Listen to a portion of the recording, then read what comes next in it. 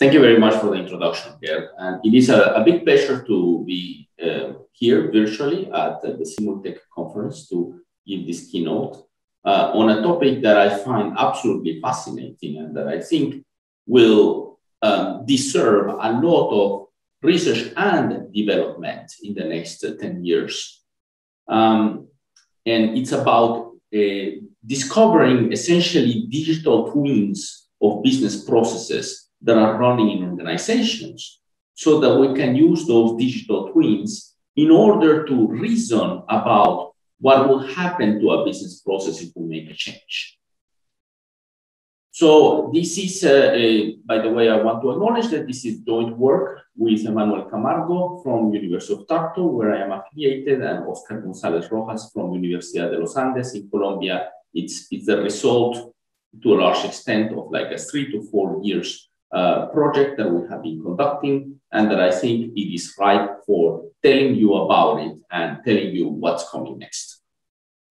So the, the, um, the motivation, the, the question that I want to address today, it's kind of very simple and it can be summarized in one single sentence, but let me give you a background.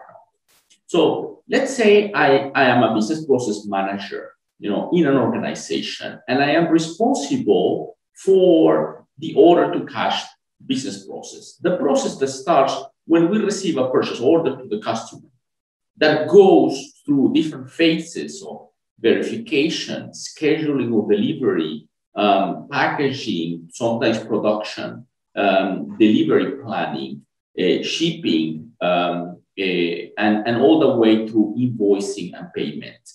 Um, and there's lots of things that get happen there. Uh, such a business process might have somewhere between 200 and 600 different types of tasks in a complex organization. And it will cross, uh, go along maybe five or six different uh, teams or units in the organization.